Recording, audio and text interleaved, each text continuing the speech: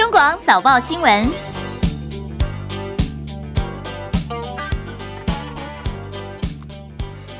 提醒您，现在时间七点二十二分，欢迎收听中广早报新闻，我是西燕荣。今天是中华民国一百零八年十二月三号，农历己亥年十一月初八，今天星期二。好，早报新闻一开始呢，我们不要讲废话，赶快直接切入早报在头版的新闻焦点。今天综合性报纸《中国时报》《联合报》头版头条焦点都放在昨天哦，检方认证真的有养网军，而且这个是绿营的网军被抓出来了，卡神杨慧茹涉嫌。前在网络上呢带风向发文带风向，而且还发包给别人哦，一个月领一万块钱。今年中时联合头版头条。呃，自由时报哦，我放了一到十六版，至少在北部版哦，一到十六版通通都没有这一条新闻。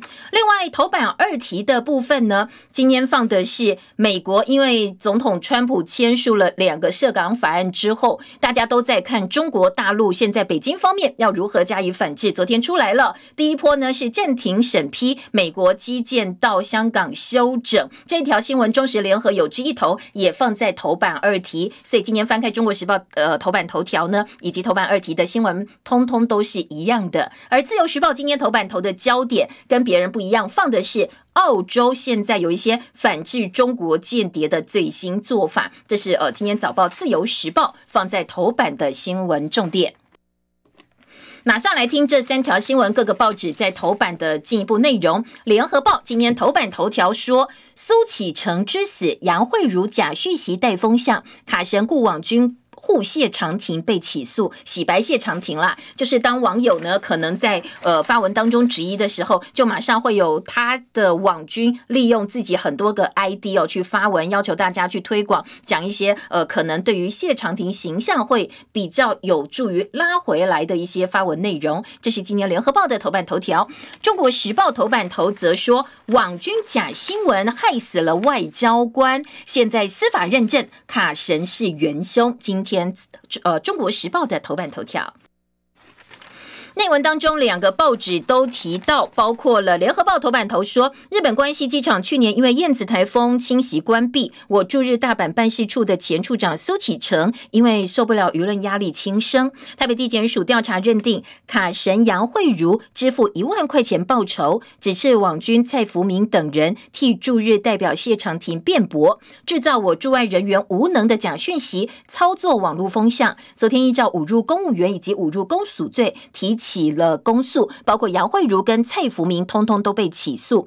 而蔡福明坦诚，他拿了杨慧茹一万块。不过杨慧茹在这呃检方侦讯的过程当中强调，呃这笔钱我真的给他一万块，但是跟推高调呃没有对价关系。说我单纯请朋友吃饭，然后给他一万块。不过当然这样的说法，检方没有采认哦，所以最后还是提起公诉。杨慧如曾经是谢长廷选举时的网络执行长，蔡发文 PTTP 大阪办事处，这个蔡是蔡福明，因为杨慧如跟他约定，叫他借由网络散播舆论带风向，所以他用 IDCC 的账号，这是呃蔡福明用的，在 PTT 上以。大阪空港疏散事件相关资讯发文说，谢长廷根本管不了大阪办事处，痛骂大阪驻日代表的态度呢很恶劣，到了该死的地步。讲难听一点哦，是党国余孽。这些资讯还欢迎网友去转发出去。杨慧茹透过赖群组，还有很多所谓的网军群组，包括高雄组以及其他的群组，也都被检方证实，这是所谓的网军群组。王杨慧茹自己一直都否认他是 ID。C C，他说，呃，P T T 在发文的时候，他跟朋友在吃饭，在聚会呀。因为蔡福明没有网络，才把手机的热点分享给他，所以最后 I P 查到是他。但是呢，他说他不知道发文者是蔡福明，只觉得他文章写得很好，值得推高调，所以才在群组里头请理念相同的朋友分享文章，没有带风向。这样的说法，检方也是不采认的，没有被检方接受。这是呃，今年联合报的头版头条。中国时报头版头下半版面则说，关系事件当中为谢长廷辩驳，杨慧如只是带风向下线，每个人每个月一万块。对此呢，外交部也有了回应。外交部发言人欧江安说，因为全案进入司法审查，外交部尊重司法。不过，国民党总统参选人韩国瑜昨天在脸书上发文说，蔡政府放任网军害死我们的外交官，竟然只有尊重司法这样一个回应。他要求啊，一定要秉公彻查，还给苏启成处长跟家人一个迟来的公道。到底这么大一笔雇佣网军的钱是哪里来的？背后呢，主要出资者或者是黑手是谁？外交部有没有施压？有没有官官相护，让自己的同事蒙冤而死？这些事情，他说他如果当选的话，一定会彻查到底。今天在呃《中国时报》的头版头条。那页当然，中时联合还有很多不同角度，我们一一来听。中时三版版头说，绿营的网军带风向，谢长廷应该要负政治责任。检方连两天打脸，芒果干事自导自演，这是今天在中国时报三版的标题。当然呢，所谓的自导自演哦，把过去包括了这个间谍案、王立强的案子，以及今天在卡神杨慧茹的部分呢，都把它连在一起写，说其实通通都是呃自导自演，芒果干是假的。今天呃，中国时报在三版当中提到，高雄高分检认证九二共识不是一国两。两制，北检又起诉卡神杨慧茹，说她在网络带风向，加上王立强共谍案，也是一出闹剧，所以等于宣告民进党贩卖的亡国感，通通都是骗人的。把责任推给苏启成，再用网军攻击一四五零是金 A 是呃是真的了哦。说蓝营立委要求谢长廷立刻回台说明，消灭假新闻，民进党做贼喊抓贼，涉嫌逼死苏启成，网友骂翻了。起诉卡神拼图越来越清楚，监察委员说他们其实不惊讶哦，因为当初监察院把案子送给检调，就是知道这是有问题的。检方确实调查之后，拼图也越来越清楚。钱从哪里来？检警应该把藏镜人给揪出来。这是呃，《中国时报》资深司法记者陈志贤的特稿，标题说：检警要继续查下去，不能够到此为止。绿营立委很低调，表示一切尊重司法。这是今天《中国时报》在三版的部分内容，《联合报》三版版头则把卡神放到了大标题：卡神操刀十个网军月领一万块带风向，换句话说，一个月花十万块钱就可以去操。作一些网络议题的这个走向。联合报说，杨慧如下线蔡福明等人共用这个账号叫 IDCC，用这个账号来发文攻击，被检方起诉。而律师跟绿营也相当有渊源。这两个人的律师呢，杨慧如的律师陈伟仁曾经是民进党嘉义县党部律师顾问，原本在法务部政次蔡必仲的律师事务所任职，后来他才接手业务。而蔡福明的律师陈泽佳是现任嘉义律师工会理事长，现在协助立委陈明文。处理高铁遗失三百万现金案诉讼的经验非常丰富，所以联合报把它呃连结在一起哦，说你看看这两个人请的律师跟绿营方面倒是颇有渊源的。另外，在联合报的下半版面，把杨慧如过去一些比较争议的言行也做了整理报道。杨慧如曾经开价五百万跟大家兜售人头账号。今天在联合报呢回顾过去，杨慧如哦，她早就被网络上归为挺英网军、挺小英的网军三大系统之一。过去在二零零八年，谢长廷代表民进党角逐总统的时候，杨惠如受邀加入竞选团队，出任团队的网络执行长。当时他自己也不讳言说，二零零四年他曾经丢出人生第一份履历给国民党总统参选人马英九，但是没有被录用。谢长廷当时也肯定说，谢谢马英九没有用他，他才有缘跟杨慧如一起上班。不过回头来看呢，看起来马英九倒是相对比较英明的。另外，联合报在后半版面也整理了。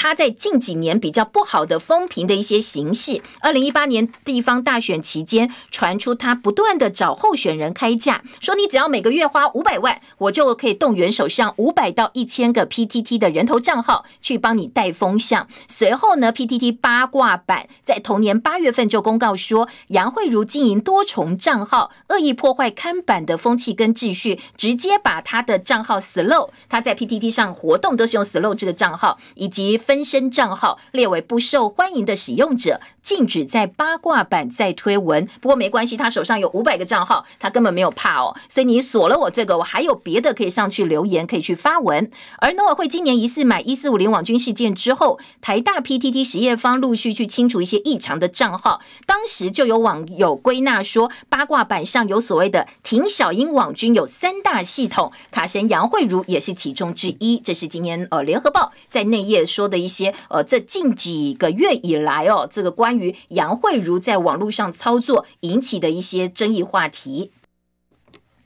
联合报另外记者李光仪还告诉您哦，如果您对网络操作带风向这样一个方式啦运作的模式不是很清楚的话，我们来听听看哦。说绿营的网军操作有四种模式，包括假倒戈、真卧底、假脑粉、真反串等等。第一种假倒戈、真卧底，记不记得前几天有一个韩国瑜的粉砖倒戈，突然变成韩黑，变成阴粉了？舆论大做文章说，这个韩粉是因为对韩国瑜很多表现不满。不过呢，呃，今天联合报记者李光仪。说，如果你了解粉砖的运作模式，就知道倒戈的可能性非常低。换句话说，很有可能哦，这个是反串的，是假的。另外一个，呃。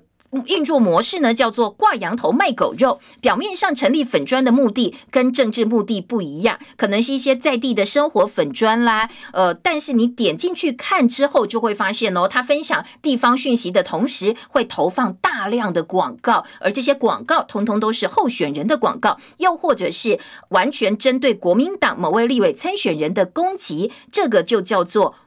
挂羊头卖狗肉的粉装，伪装呃伪装成生活用意，其实主要的是希望能够打击对手。另外一种是假脑粉真反串，最具体的例子叫做谢振武跟谢祖武事件。记不记得啊？之前律师谢振武在他自己的政论节目上大骂韩国瑜之后，他的粉砖就被灌爆了，甚至还有一些呃，这个韩粉呢大举去进攻艺人谢祖武的脸书，呃，去让大家觉得说啊，原来韩粉都是脑残，连谢振武、谢祖武傻傻分不清楚，其实是反串，故意去呃污名化，或者是故意去抹黑这个韩粉，说这种呢也是另外一种。呃，这个所谓的运作模式，大部分都是假账号，免洗假账号。呃，脑粉是刻意塑造，而不是自然形成的。另外一种是制造意见领袖，一个意见领袖的影响力可能超过上千百个乡民。例如呢，最近在 PTT 上有一位挺蔡英文的财经界女媒体人，脸书文章常常一被转载就被推爆，而且下面都写的说啊，你写的好棒啊，好精辟等等，比较溢美的言辞。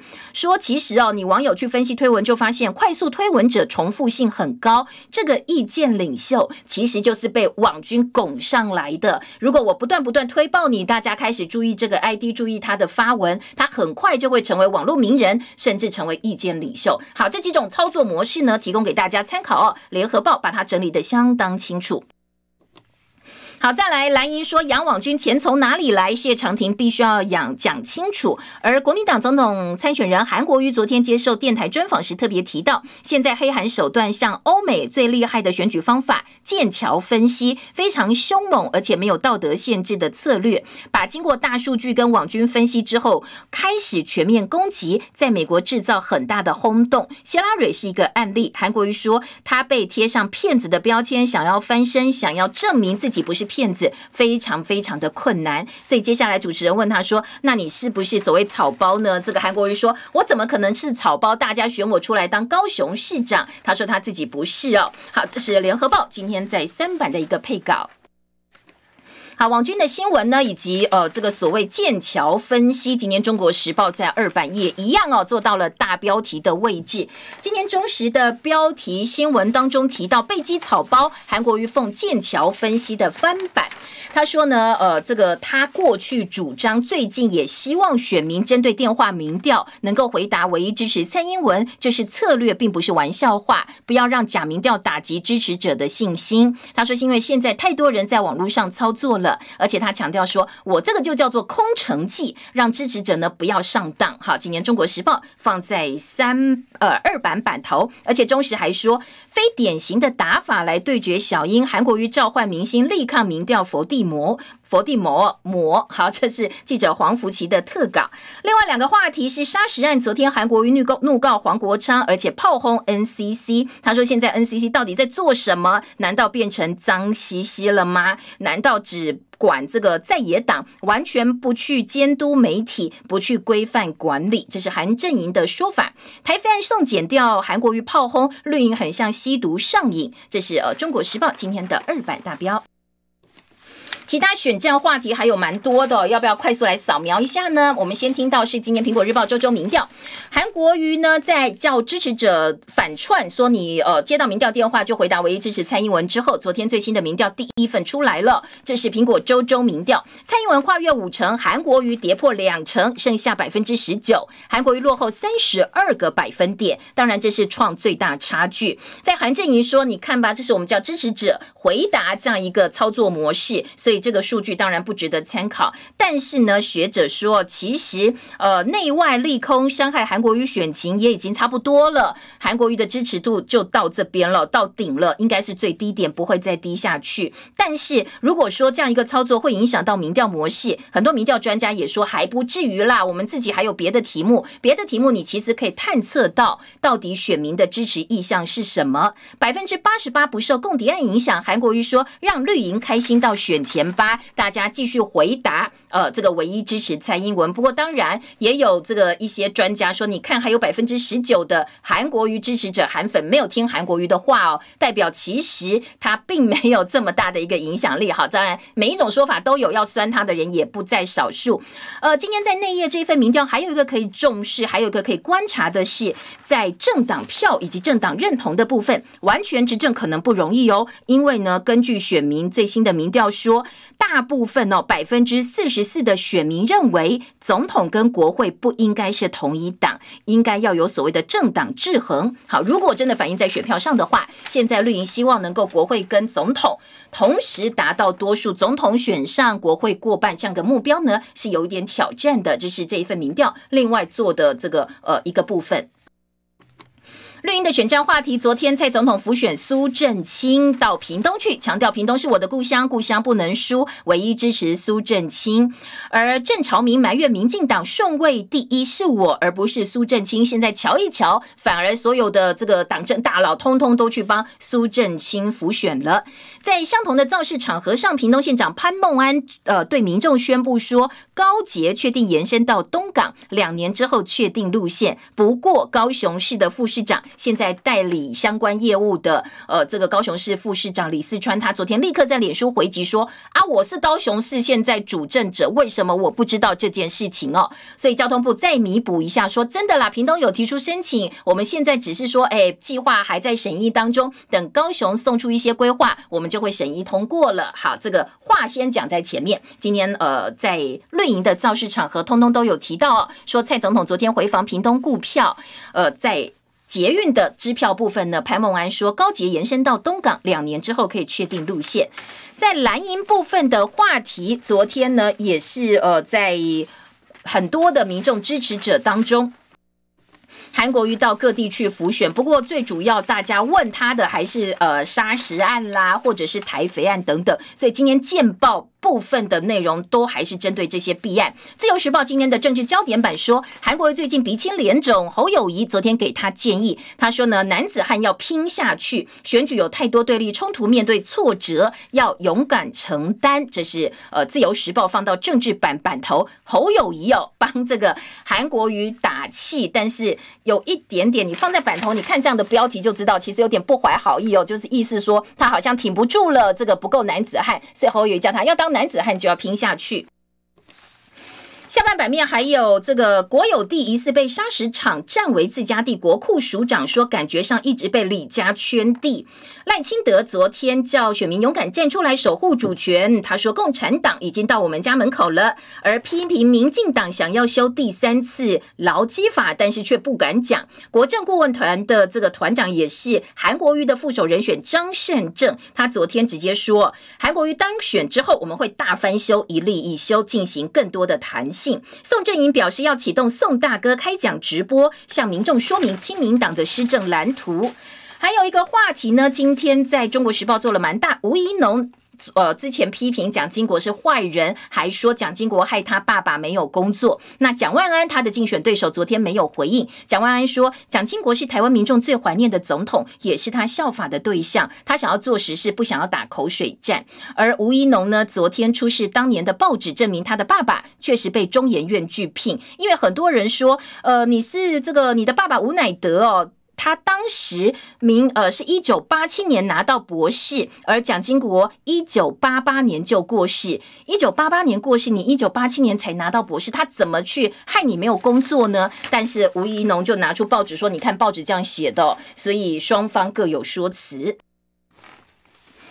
还有一个这个选战议题也是跟政策有关。自由时报今年生活版说，花东快重启，地方乐见学者保留。李克聪表示，台九线陆续拓宽，应该考量到新路线对环境的影响，还有经济效益。交通部要重启花东快速道路计划的可行性评估，花莲跟台东都表示乐观其成。但是学者认为，现在台九线已经陆续拓宽了，要考量到对环境的影响。当然，这一个道路花东快重启也是选战前的一个这个。等于是算是利多哦，或者是政策方面的一个呃支票，所以今天自由时报倒是相对中肯哦，把地方的这个乐观跟学者保留的态度做了一个配合的报道。好，再来听到的是，呃，今天的在内页方面，柯文哲说，如果说第三势力没有办法合作，不能跟柯文呃郭台铭合作的话，没有关系，像托育政策啦、国会组成啦这些，我们可以合作的部分就合作，不能合作的地方呢就各做各的，第三势力还是有他们合作的一个模式。再来听到《自由时报》今天头版头说，剑指中国渗透澳洲成立反间谍小组，要投入超过十八亿台币，反制外国势力干涉。前情报总监示警，中国要接管澳洲政治。外传拒绝中国吸收选议员，有一个华裔的车商离奇身亡，死因不明。而澳洲媒体质疑说，这件事情是北京企图渗透澳洲国会的迹象。澳洲媒体披露自称中国间谍男子王立强投诚事件之后，当然，呃，今天《自由时报》没有提到说。后来被认为他的情报价值很低。呃，今天自由时报直接说，在澳洲当局非常重视中国间谍、外国势力干涉跟威胁，所以现在呢要投入台币十八亿元，成立一个安全情报组织。今年自由时报放在头版头条，旺报头版头告诉您，台胞纳保大陆开大门，大陆选前会台再加码，明年拿居住证就可以享有养老以及医疗保险。大陆人力资源跟社会保障部以及国家医疗保障局联袂公布了最新的规定，从明年元旦开始施行，重点包括哪有居住证者立刻可以纳入社保，社保户口可以携带跟保留，缴费不到十五年回台可以先保留起来，之后你如果再去大陆就可以累计。受雇的台籍员工一律纳保，港澳台大学生享有医疗保险补助政策，比照大陆居民享有的待遇。当然，这个是大陆的会台政策。今天在内业当中也有一些担忧。旺报三版说，有条件的豁免养老跟失业险，但是两岸沟通中断很困难，台商担心成本增加，台胞担心影响到就业。台商跟台胞反应不一，有人认为这是大陆方面对港澳台居民落实国民待遇，也有人担心说企业营运成本会因此提高，台湾人在大陆想找工作也会受到影响，因为你的成本垫高了，大家可能不见得想要去请你了。这是呃，当然正反方面反应都有哦，来配合这一则报道。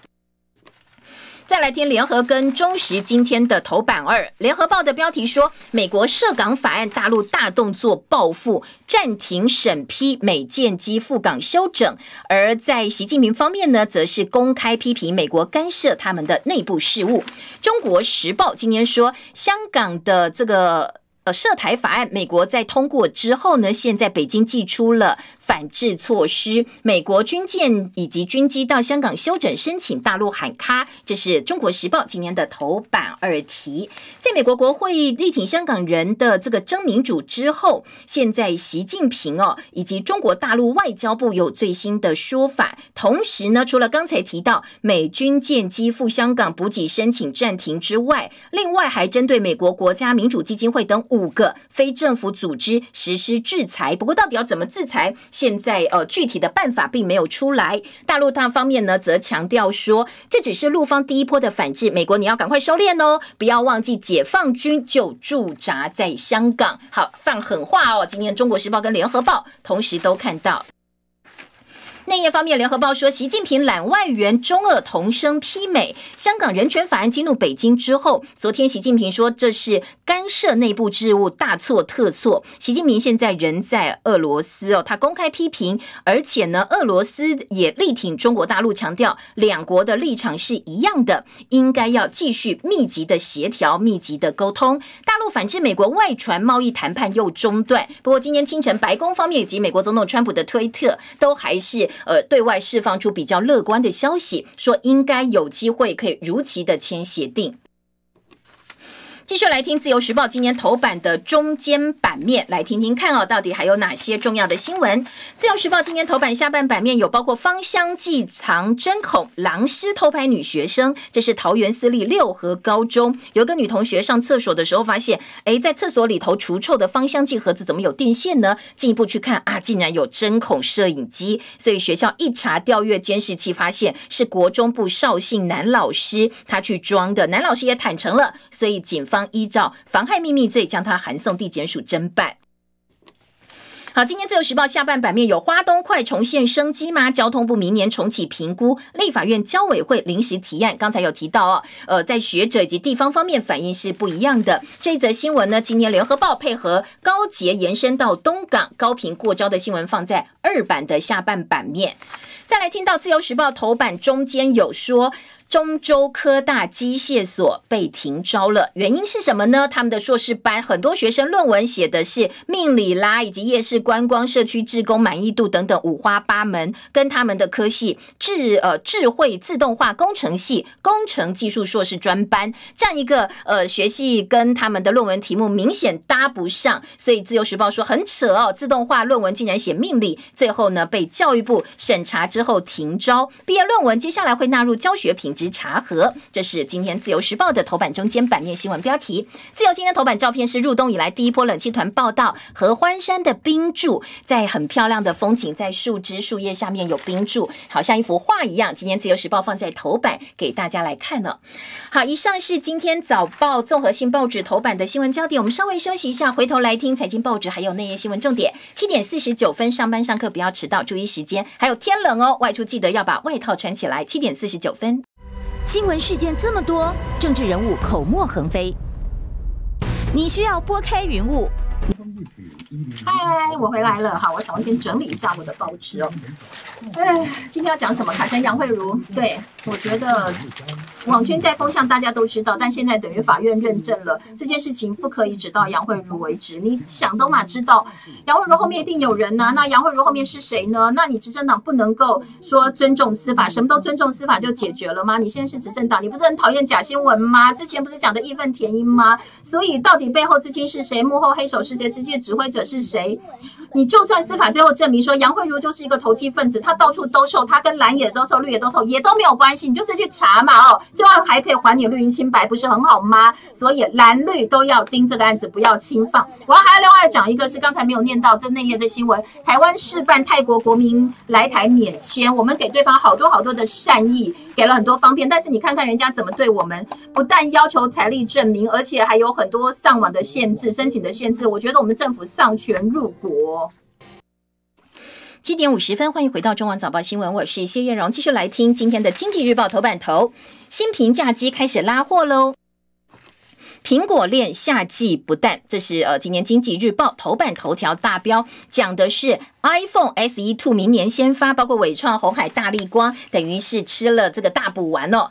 今天经济日报在头版提到，苹果二零二零年第一款智慧手机主打新兴市场的平价版 iPhone SE Two，这个月开始备货，明年一第一季发表，出货量估计两千到三千万只。伟创印度厂拿下多数组装订单，红海在印度的代工新机也受惠很大，还包括大力光的零组件，明年第一季有机会因此淡。季不淡，工商时报关心的是联发科的五 G 订单爆单，明年六千万套。法人说，包括 OPPO 啦，以及 vivo 啦、华为这些呃单子追单的影响之下，明年手机晶片出货量上修超过两成。好，包括了苹果链，包括了联发科，都有好消息哦。今天工商经济分别放在头版头，工商头版下半版面告诉您，美股超牛，因为圣诞行情要来了，有机会缔造二十年。来最大年限涨幅。台湾十一月 PMI 加速扩张，十五月以来最强，十五个月以来最强劲。新复发前进青浦造镇跟润隆联手砸七十七点二五亿元，计划开发总销售超过一百七十亿元的大型建案。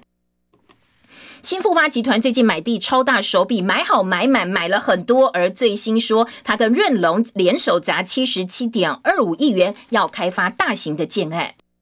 工商今天二板板头，广达和硕南向布局，后发先至，抢补助末班车、电动机车大卖。台股金属年八大投顾唱高，看好的。另外，川普麻烦大了，弹劾下台的声浪高。这是工商时报今天内页预告。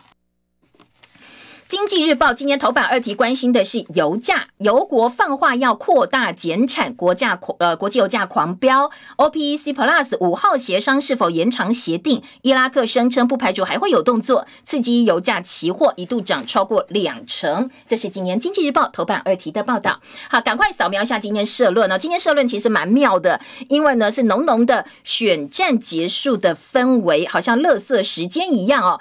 包括了挺韩不遗余力的。中国时报中时社论今天标题是蔡英文如何面对选后的两岸乱局。内文当中说，现在蔡英文总统民调大幅领先，不是没有机会赢得胜选。他要蔡总统想一想，选后台湾会变成什么样子？两岸没有办法和解，台湾就是大输家。操作选举会让绿红失去寻求双赢的可能性。好，中时出现这样一个社论标题，我还蛮惊讶的，因为毕竟选举还有呃这个三十多天还没有到结束哦。另外，联合报。报社论则说，王国感救得了蔡英文，救不了台湾经济。哈，联合报则是从王国感切说，确实他帮蔡英文的民调声望拉起来很多，但是台湾经济该怎么办？什么叫做王国感？台湾人民在经济体感跟意识形态之间拔河，似乎忘记要活下去，忘记生存的意义。另外，在自由时报社论则是看习近平的诸多不顺、诸事不顺。从这个美国签两个对港法案之后，以及呢说捷克现在跟大陆关系也不好，台湾看看各国表现，应该想一想自己不要再呃去迎合中国了，应该对中国进逼。这是自由时报今天的社论。经济日报社论则说，印度退出 RCEP 的启示哦，我们应该来看一看，说可能哦，代表说呃接下来其他十五国家很快就会签了，其成已定，那台湾要做好准备。工商时报。社论则提醒，世贸组织 WTO 现在可能会瘫痪，最主要原因哦，一个是美国不出钱了，它是最大出钱国家，加上现在川普很多政策其实都违反 WTO 的规定。十二月十号有一个开会，这个开会将会决定 WTO 最后的一个生存，所以是存亡的关键。台湾也要做好准备。好，这是财经报纸今天社论几个提醒跟这个报道。香港情势，自由时报今天在政治焦点版说，人数增加，香港人的居留门槛，政府可能要开始检讨了，因为现在太低，投资六百万就可以，立委质疑太宽松，如果有人渗透的话，该怎么办？联合报财经版面，汽车进口零件降税，明天要闯关，经济部的税评已经过关了，行政院同意大方向。喊话调降车价，让全民受惠。不过，你调降车价，你降税的同时，要来聊一聊汽车产业该怎么办。今天在部分媒体的这个财经版面就说，进口车亲门大户，汽车业担心会变成华印，变成第二个华印。十一月的市占率三度过半，危及到国产车厂三十万员工的饭碗，该怎么办？只剩下两个月，历史零版本课，呃，这个过关课纲不知所云，高中东亚史难产。再过两个月，下学期就要开学了，高中历史第二册到现在课纲部分没有任何的版本过关。中国时报说，那是因为你整个目标方向完全不明确，当然大家不知道要怎么编哦，不知道中心思想是什么，所以导致我们的孩子，导致全民受害。昨天双北达成共识，要来共同申办二零三零年的亚运会。台北跟新北两市一体，场馆资源共享，要一起努力哦，来申办亚洲运动会。其实侯友谊跟柯文哲关系还不错，双北是一直有他们这个开会协商的一个目标。两市的市长呢，针对申办二零三零亚运会也达成了共识。二八的馆长被曝五十年前曾经杀老师。呃，昨天这个新闻有点吓人，说二八纪念馆的前馆长廖继斌，呃，这个他指控说现任馆长杨振龙五十年前曾经犯下杀老师的命案。后来他自己也坦诚，他说呢，我这几年来一直为自己做错的事情，呃，在做弥补哦，在懊悔。至于我是不是任二八馆长这个职务，交给大家来公平。天冷上腹痛，小心是心肌梗塞的征兆。温度低于二十度就要特别注意。而未来一周北台湾体感温度只有十度左右，都是凉凉冷冷的，所以要留意温度方面的变化。而长者跟幼童的公费疫苗流感八号已经呃准备要开打了，如果您符合资格的话，要做好准备，赶快去开打哦。毕竟季节变化，很多病毒是蠢蠢欲动的。时间七点五十七分，我们时间到了，谢谢大家收听，祝福您美好顺心，明天见喽，拜拜。新闻事件这么多，政治人物口沫横飞。